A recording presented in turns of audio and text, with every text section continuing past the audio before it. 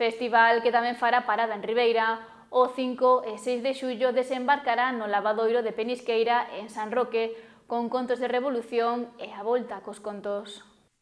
A narración oral estará presente en Ribeira, onde se desenvolverán dúas actividades enmarcadas no Festival Atlántica. O Concelleiro de Festexos, Francisco Suárez Puerta, presentou o programa para o municipio e afirmou que é un orgullo contar con este festival internacional na localidade. Que vai ter lugar en Ribeira o día 5 e 6 de xullo.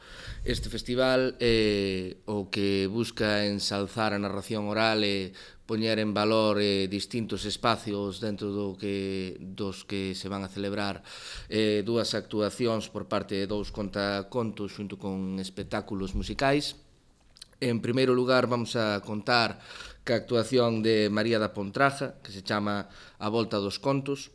Esta terá lugar o 5 de xullo ás 9 da noite no lavadoiro da Penisqueira. Polo que se busca tamén dar valor e visibilidade a este lavadoiro como escenario para desenvolver este tipo de actuacións Os contos que se narrarán Arelí o 5 de xullo afondarán na muller e na súa historia. En segundo lugar, vamos a contar eh, ca actuación de Dani Blanco como narrador e de Sepo Mar ao acordeón, eh, cunha actuación que se vai titular Contos da Revolución entre Brasens e Neiravilas.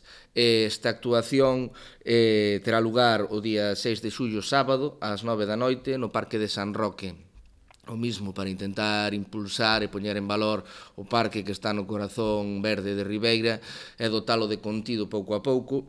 A actuación eh, que terá lugar hacia as nove da noite hacia o Solpor. Nesta ocasión, a narración contará con música grazas ao acordeonista Sepomar. Eh, trata acerca da experiencia eh, do actor e o acordeonista que van a levar o público dende Bos Aires ata as barricadas de París e o Teatro Olimpia Costamaras. De, vai tratar unha serie de historias da memoria da revolución. É un espectáculo que invito a todos os veciños a acudir e a disfrutar e esperamos que sea todo un éxito. O Festival Atlántica desembarca en Ribeira para impulsar a narración oral, á vez que se dan a coñecer espazos do municipio cun halo especial para desenvolver este tipo de actividades.